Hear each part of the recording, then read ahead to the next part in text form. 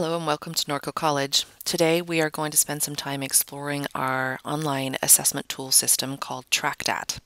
I'm going to take you on a tour of the system, show you how to create assessment and how you can um, use it to track how your discipline is actually doing in assessment.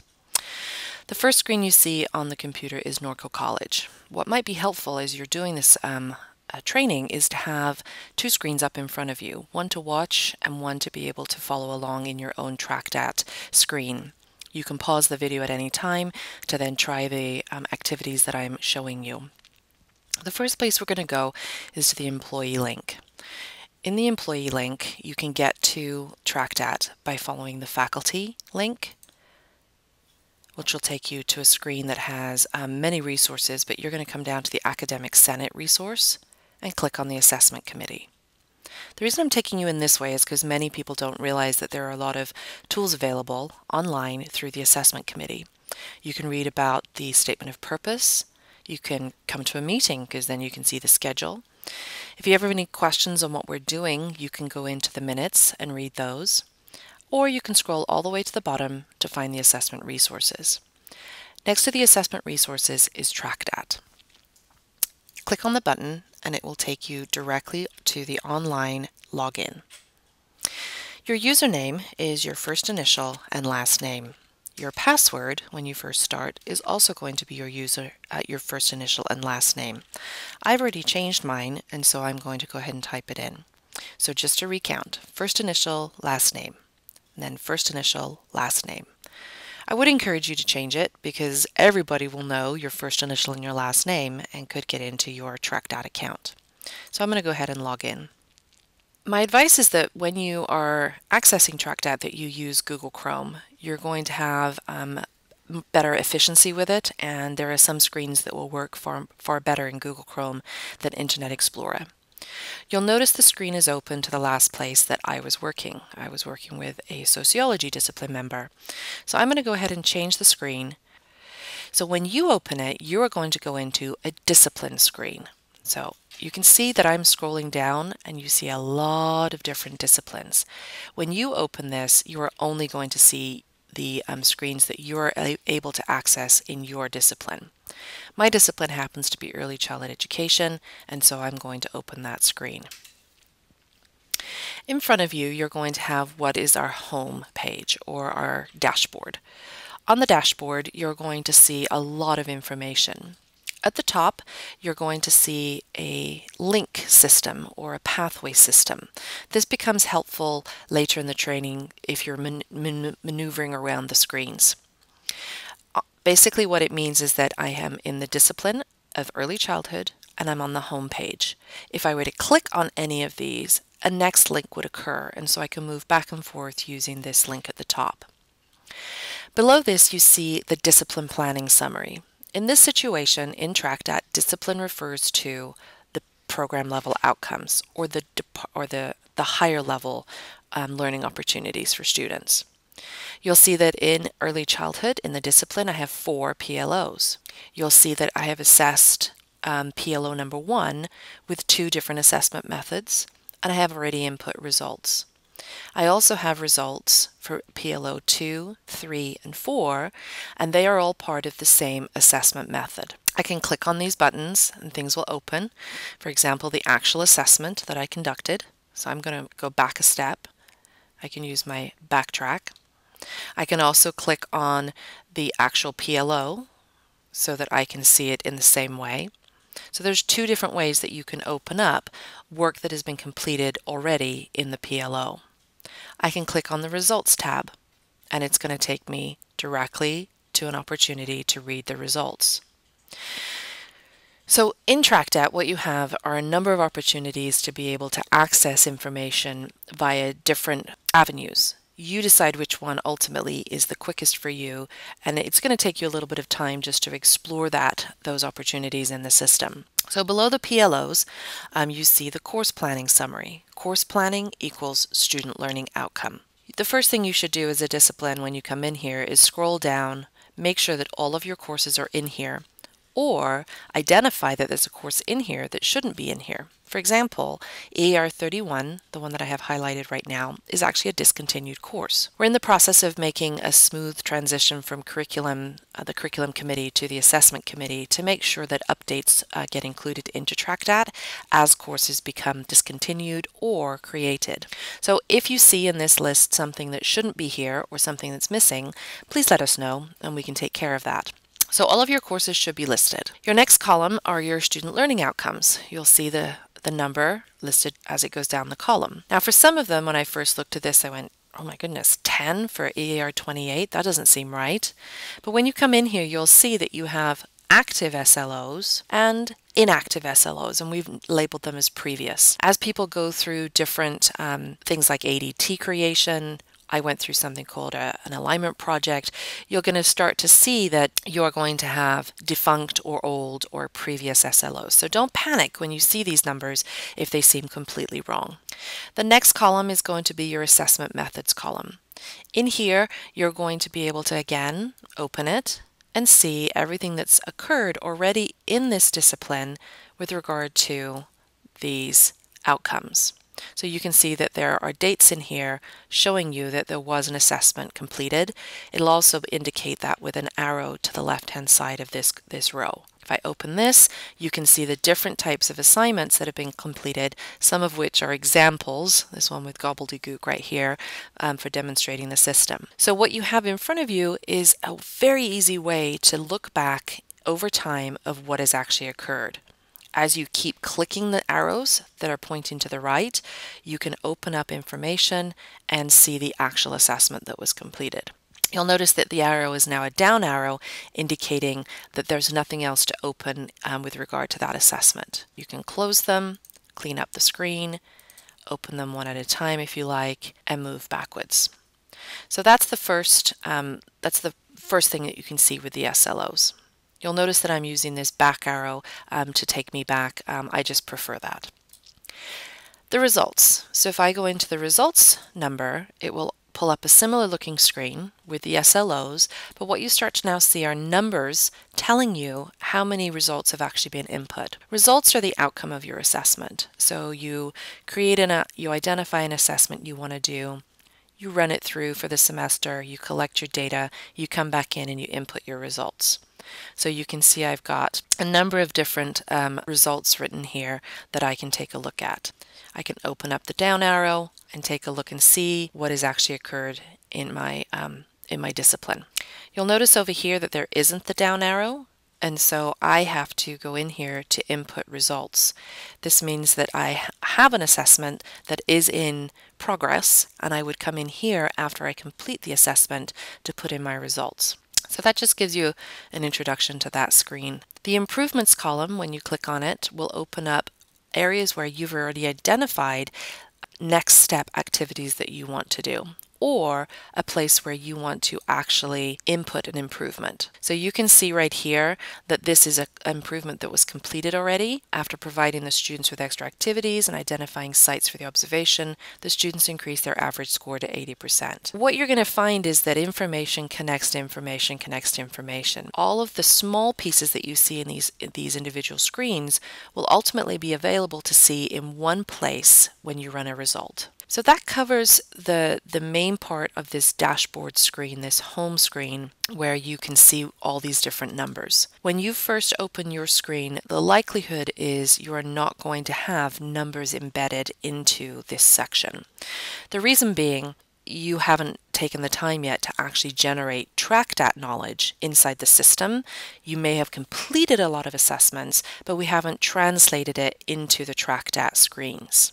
So don't panic we do have assessment. It is located in TRACDAT. It's in here in the document repository, but it has not yet been turned into TRACDAT language. I'm going to show you how to do that a little bit later. So this is just the right hand side of the screen. A lot of information that is very helpful when you are looking at which courses need to be assessed, which ones have been overly assessed more than others, etc., etc. Now let's just go down the left hand side of the screen. I'm just going to start at the top and I encourage you to explore this um, screen so that you get to know exactly what's inside of it. The discipline has three areas you can open. The first one general information. You'll see mine's blank. We just got the TRACDAT 5 system um, in the middle of August, and I haven't had a chance to type anything yet to identify my discipline, to maybe identify um, certificates that we have, associate's degree for transfer, um, or any other information that might be helpful for other discipline members to know. Assignments is an interesting tab.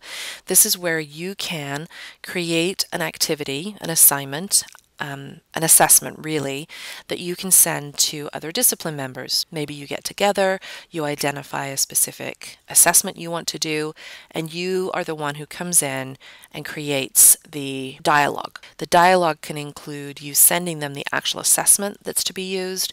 It can include um, these are the questions we want to embed into the, the, the take home test, whatever it is. This is where you, as a person who's leading the assessment, could distribute to other members of your discipline what it is you're going to work on that um, semester.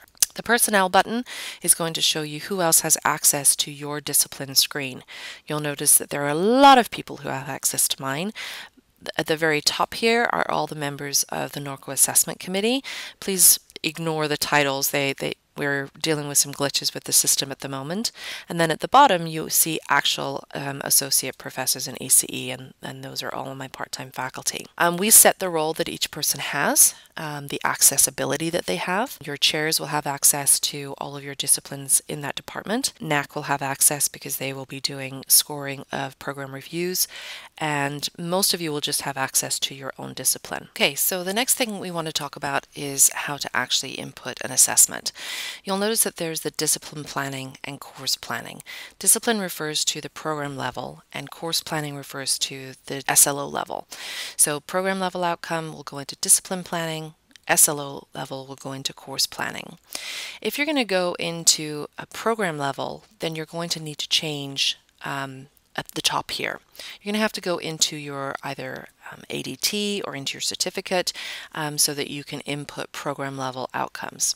We're not going to do that one to start with. Most of you are going to be spending your time in the course planning, SLO inputting um, data.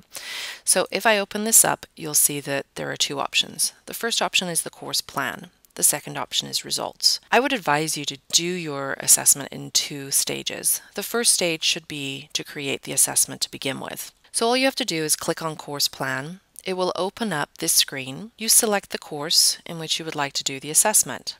So let's go Introduction to Curriculum. It will open up the SLOs that are connected to that course. You decide which SLO you would like to use.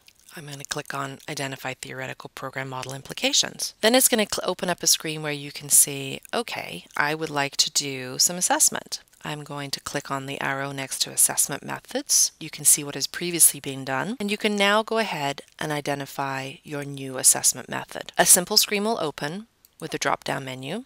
Inside of this menu, you will see options for the types of assignments that you might be giving.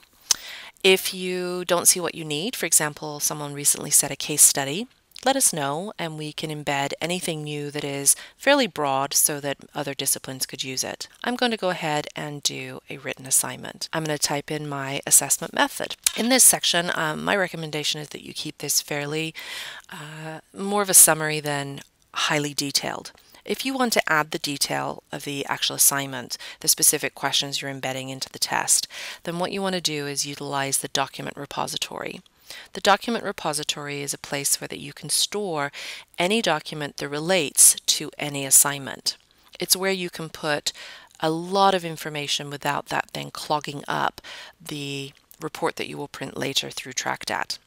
So this assessment method that I think we're going to use for identifying um, theoretical and program model implications.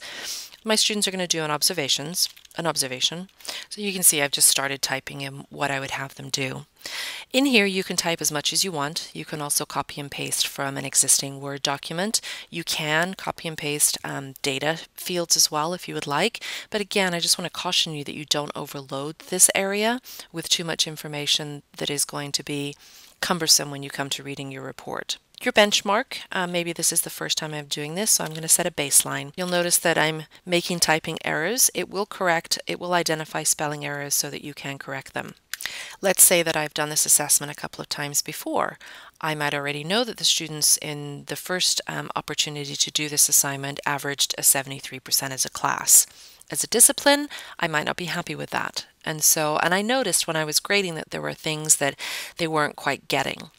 This is the opportunity for you to say, I'd like them to do this level of ability based on what I now know about this assignment. So this becomes very individualized, the benchmark for the disciplines. You'll notice it's not a required field, but it might be something that um, discipline starts to use to provoke a conversation about what is our expected uh, performance level in this course for this particular uh, SLO.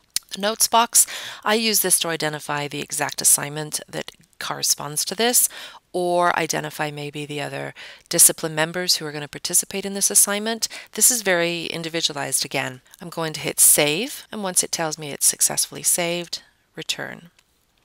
You'll then scroll down and you'll see here is my assignment. It's ready to go. I can then click on this, see the information that I input, I can also then relate documents or documents that are associated with this assessment.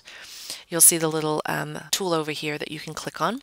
This will take you directly to the document repository. The document repository is kind of a library where you can store lots of information. So here's ER 24, the course that we're assessing. Here are all of the documents that I've already input into TracDat or Judy has uploaded for me. It includes um, assignments. It also includes existing assessments that I've done in previous semesters. So anything that you've sent to us, or almost everything, should be included inside of this um, repository. You should check first to make sure that the folders for every course are in here. If they're not, it means that we don't have a copy of an ass assessment for that course or documents that have been sent to us.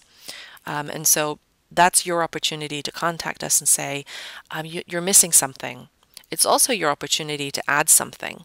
Um, you'll have to do that inside of the document repository over here before you start your assessment or to make sure that it is, is, it is in the system. So all I have to do to relate a document is come in here, find the assignment.